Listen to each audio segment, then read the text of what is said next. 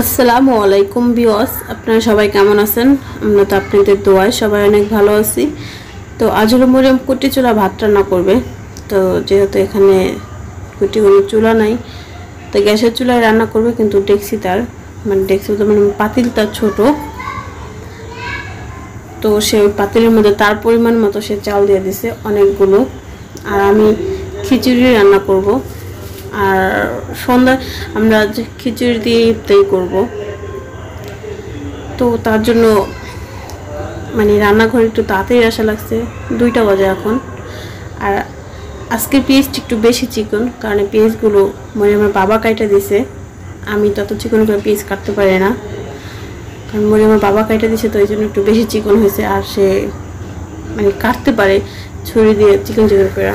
আর আমার যে বটিটা এনে দিয়েছে বটিটা মানে অনেক বড় এবং আরেকটা হলো মানে বইয়ের মুখ অনেক ভারী। তো না বাইরে ওটা ঠিক করা যাবে না। বাইরে তারপর ধার করে আনতে হবে, যদি আমি কাটি। তো ওটাতে কাটতে গেলে খুব কষ্ট হয় আর হাতের মধ্যে লাগে। তো আমি পেঁয়াজগুলো ভাইজে নিচ্ছি একটু হালকা করে। দিয়ে দিছি আস্তে করে মরিচ আর আদা মানে আদা, রসুন এগুলো ছেঁচে নিয়েছি। ছেঁচে নিতে মানে আদা ছেঁচে নিতে ছেঁচে নিছি। আমি এটার মধ্যে গরম মশলা, দারচিনি, এলাচ এগুলো ভাইজে নিচ্ছি হালকা মানে টাটখোলা ভাইজে নিচ্ছি ওগুলো ছেঁচে গুঁড়া করে দেবো। আর ওগুলো যদি আস্ত দেয় তাহলে মানে আমার বাবার পছন্দ না আর কামড় লাগলে খাইবো না। তাই জন্য ওগুলো গুঁড়া করে দিছি। তো প্রথমে আমি স্বাদ মতো লবণ দিয়ে দিছি, তারপর দিয়েছি জিরা গুঁড়া। দিয়ে দিলাম স্বাদ মানে হলুদ পরিমাণ মতো।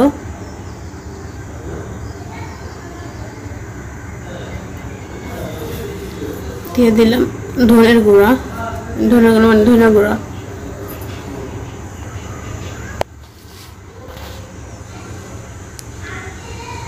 দিয়ে দিলাম বেশ অনেকটা পরিমাণে মরিচের গুঁড়া। খিচুড়িতে একটু ঝাল না হলে ভালো লাগে না। একটু ঝাল হলেই ভালো লাগে। আমি মশলাটা কষে মানে মুরগি মাংসটা আমি দিয়ে দিব। আর মুরগি মাংসটা আমি এখান থেকে কষে রান্না করি, তারপর এটার মধ্যে চাল দিয়ে দেবো। মানে আলাদা করে রান্না করব না। তো মনে আমার বাবা বলতেছে যে এরকমভাবে রান্না আমি কারও দেখিনি কখনো, যে একবারই সব করে হেলায় আমি তো শর্টকাট এটা আমি একদম শর্টকাটে রান্না করি। আরেকটা কথা সেটা হলো মানে দুই দিন কালকে যেরকম আমি বলছিলাম যে আমার জামাই তার জন্য আমাকে অনেক অনেক কথা বলছে। আর এর আগে যখন বলছে যে মরে আমার বাবা, তো তখনও বলছে যে, এত মরে আমার বাবা মরে আমার বাবা করেন কেন? কালো বলছে যে, আপনার জামাই, নিজের জামাই নিজের জামাই করেন কেন? তো আমি এটা বুঝতেছি না যে আসলে আমি কি বললে খুশি হবে মানুষ। আরেকটা কথা হলো যে, বলতেছে যে, এখন সব কিছু মরে আমার বাবাকে নিয়েই হবে। মানে ঘরে যদি দুজন মানুষ থাকে, তার মধ্যে থেকে যদি একজন মানুষ বাইরে যায়, তো তাকে নিয়ে একটু বেশি কথা হয় কয়েকদিন। তারপর ঠিক হয়ে যায়, সমান সমান হয়ে যায়। তো যেহেতু সে আমাদের মধ্যে নতুন বা আমার ব্লগেও নতুন সে, তো এই জন্য হয়তো একটু বেশি তার নিয়ে কথা হয়। তার জন্য মনে হইতেছে, কিন্তু অথচ আমি কিন্তু মরিয়মকে নিয়ে বেশি কথা বলি। তো যাই হোক মুরগিটা কষায় নেই। আর এটার মধ্যে আমি মানে দারচিনি এলাচ যেটা মানে গুঁড়া করে রেখে দিয়েছিলাম, ওটা দিয়ে দিছি। ওটা মানে দেখানোর সময় ক্যামেরাটা অন ছিল না অফ ছিল। তো এটা আমি দিয়ে দিছি। আপনারা চাইলে আস্ত দিতে পারেন।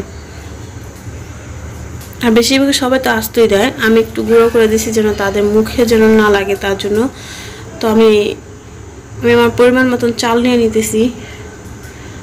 পাঁচ কাপ চাল নিয়ে নেব।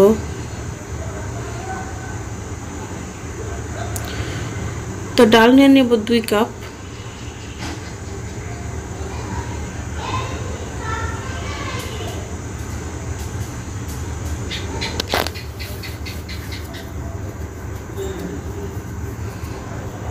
দেখি মাংসটা হইতে থাক, আমি বাকি যে রান্নাগুলো আছে ওগুলো করে নিই, আর অনেক কাজ আছে।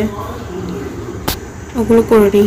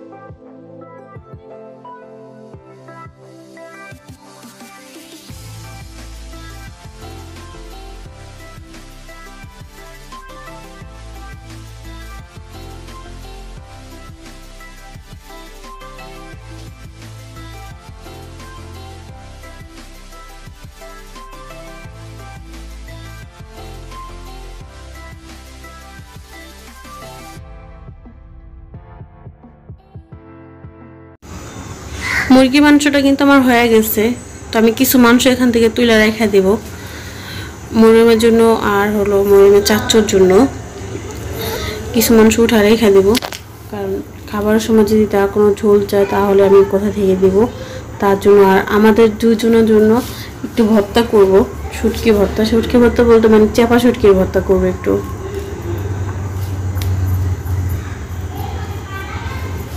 আরেকটা রিকোয়েস্ট করে নেয় সেটা হলো, যদি আমার এই ভিডিওটা ভালো লেগে থাকে, তো অবশ্যই সাবস্ক্রাইব করে দেবেন কমেন্ট করবেন, আর পাশে থাকা ছোট্ট বেল আইকনটা ক্লিক করে দেবেন, যেন আমার ভিডিওটা ছাড়ার সাথে সাথে যেন আপনাদের কাছে পৌঁছানো যায়, আর লাইক অবশ্যই করে দেবেন। তো এখন আমি মাংসটা তোলার পর মানে মুরগি মাংসটা তোলার পর, বাকি যে মাংসটা থাকব, ওটার মধ্যে আমি দিয়ে দেবো চালটা, চাল আর ডালটা, দুইটা দিয়ে দেবো একসাথে। তো এখান থেকে কষায় নিয়ে, তারপর পানি দিয়ে দেবো পরিমাণ মতো।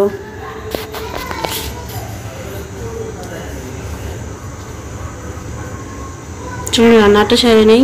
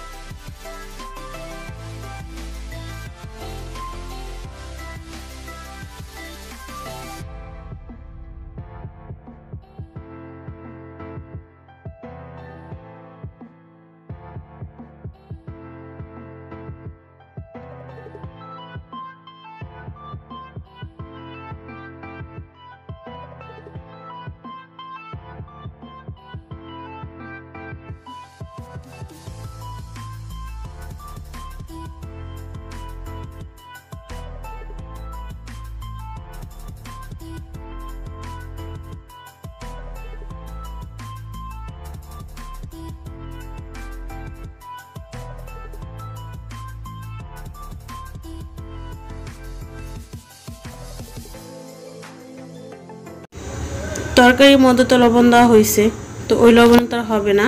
তো এই জন্য আরেকটু লবণ দিয়ে দিতেছি খিচুড়ির উপরে। দিয়ে লাড়াচাড়া দিব ভালোভাবে।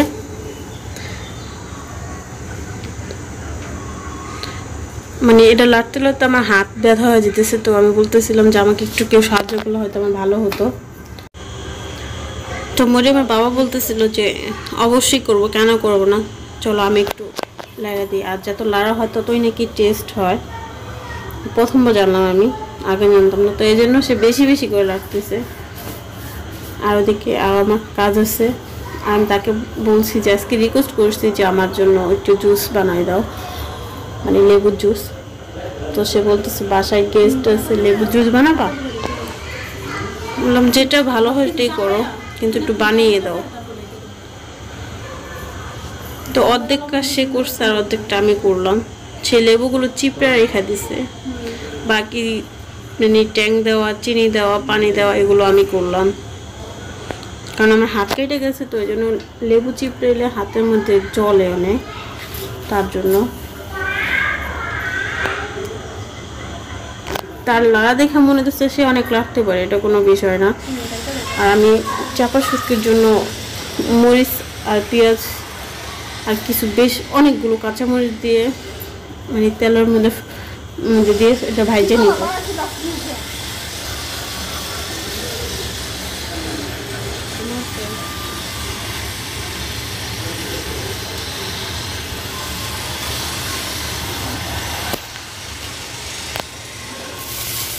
অনেকে ভয় পেয়ে যেতে পারেন যে এতগুলো কাঁচামরিচ ঝাল লাগবে কিনা। এভাবে ভাইজে নিলে অবশ্য ঝাল লাগে না, খুব কম লাগে ঝাল। আর বেশিটাই তো এখানে পেঁয়াজ আর ইয়ে আছে মানে রসুন আছে, তার জন্য একটু কম লাগবে ঝাল।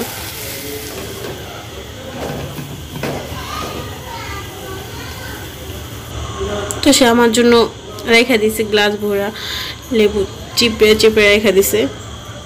তো বাকি কাজগুলো আমি করে নিতেছি।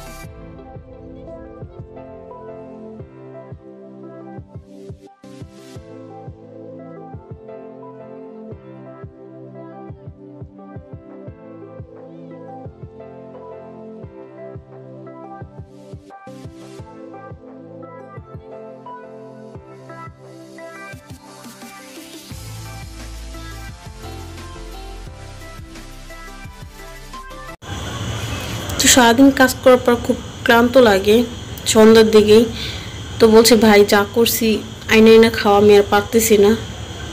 তো আমার দেপর আর আমার মেয়ে দুজনে মিলে সব কিছু আনতেছে।